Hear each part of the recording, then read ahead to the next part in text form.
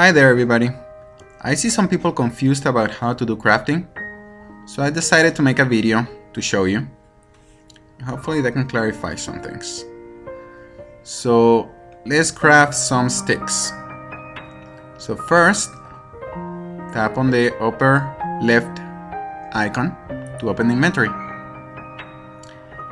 Then we gotta make some wood for, for the sticks. So let's see, let's put some wood here.